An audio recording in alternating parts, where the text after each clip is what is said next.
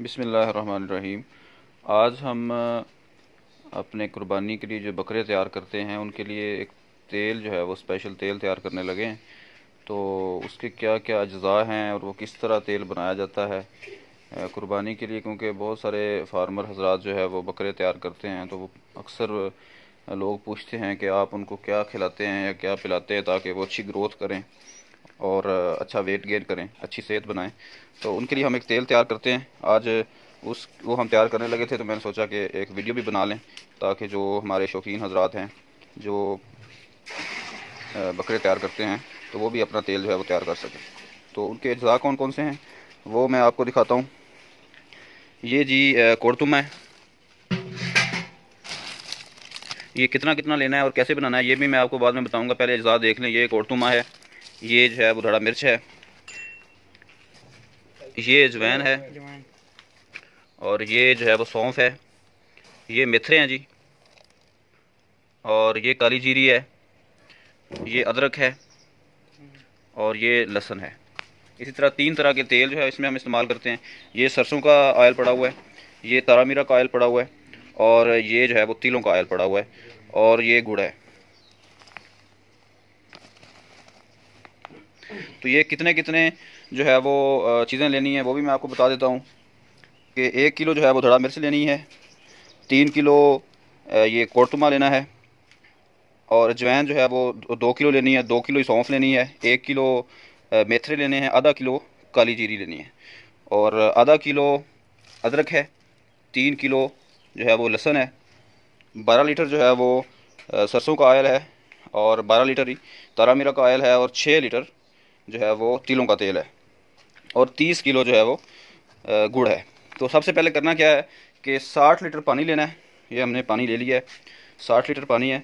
इसमें जो है वो ये सारे अज्जा, ये जो मिर्च है और ये कोरतुमा है, अजवैन है, सौंफ है, ये सारी चीज़ें जो है वो इसके अंदर हमने डाल के पकाना है। उतनी देर तक पकाना है जब ये साठ लीटर पानी जो है वो तीस लीटर रह जाए। तो सबसे पहले क्योंकि ये लहसुन और अदरक और ये जो है जो कोटुमा है, इन तीनों चीज़ों को है एक दफ़ा हम इसको ग्राइंड कर लेंगे अच्छी तरह। उसके बाद जो है वो सारी चीज़ें हम वो पानी के अंदर डाल के पानी को पकाएँगे।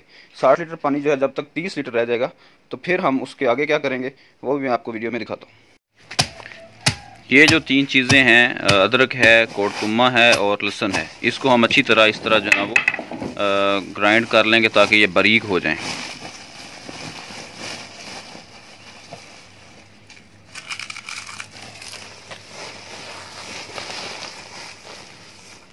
ये कोड़तुमा जो है, इसको कूट लिया गया है। अभी जो है, इसमें हम लहसन और अदरक भी डाल लेंगे।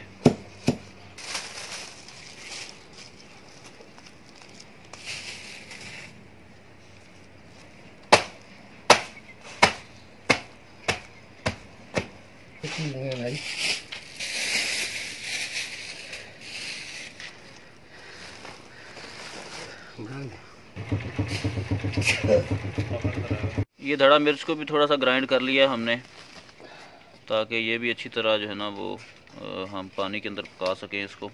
तो ये पानी को पकाने के लिए हमने जो है वो इसको आग लगा दी है नीचे बिल्कुल। तो ये साठ लीटर पानी हमने जो है ना वो ले लिया है। तो अब हम इसके अंदर जो है वो सारे अज्जा डालेंगे, जिनका हमने सफूफ तैयार करना है। पानी अब गर्म हो गया है तो इसमें हम ये जो चीज़ें हैं गुड़ और तेल के अलावा बाकी जो चीज़ें हैं हम इसमें डाल देंगे और इसको पकाएँगे अच्छी तरह।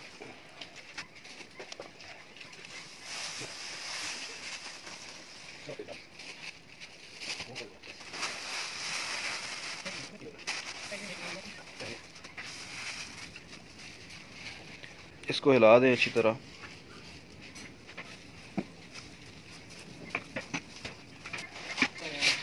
अब हम इसको पकाएँगे अच्छी तरह साठ लीटर पानी है तो ये आधा रह जाए जब तक, यानी कि तीस लीटर ये रह जाएगा तो फिर उतनी देर तक हम इसको पकाएँगे।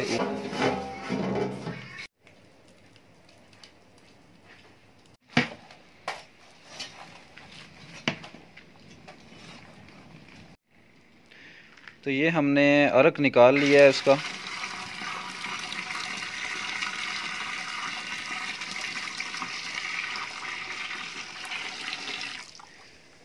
उसको अच्छी तरह पका के जो उसका अरक है, वो ये हमने निकाल लिया है, ये तीस लीटर तकरीबन है।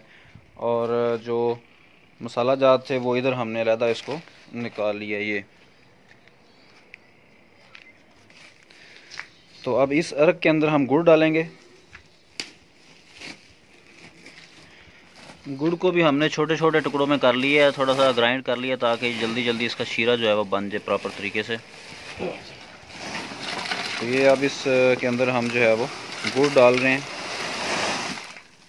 ये तीस किलो गुड़ जो है वो, तकरीबन तीस लीटर जो अर्क हमने निकाला है, उसमें हम ये डाल रहे हैं।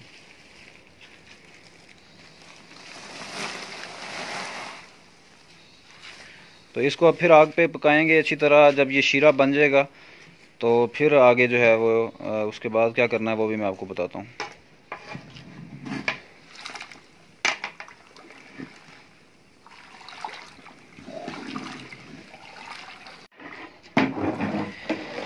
ये गुड़ जो है वो बिल्कुल अब मिक्स हो चुका है, शीरा बन चुका है। अभी इसमें हम जो है ना वो तेल डालेंगे। ये सरसों का तेल है जी। बारह लीटर हम सरसों का ऑयल इसमें ऐड करेंगे।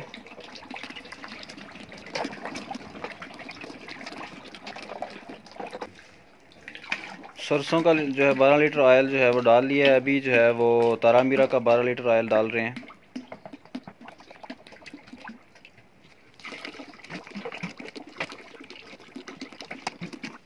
अभी जो है वो तिलों का तेल डालने लगे हैं। छः लीटर जो है वो तिलों का तेल डालेंगे इसमें।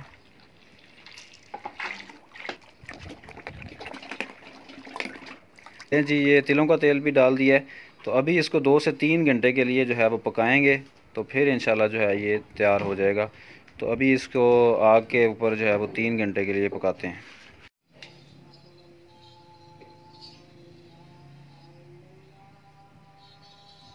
जी, अल्हम्दुलिल्लाह, आयल जो है वो तैयार हो चुका है और उसको हमने अब ठंडा करके तो उसको बोटल्स में जो है वो और गैलन्स में उसको पैक कर लिया है हमने। तो ये मैं आपको दिखा भी देता हूँ कि किस तरह की क्वालिटी का जो आयल है वो तैयार हुआ है। तो ये ये बिल्कुल क्रिस्टल क्लियर जो है वो ये आयल जो है वो तैयार हो चुका है, अल्हम्दुलिल्लाह।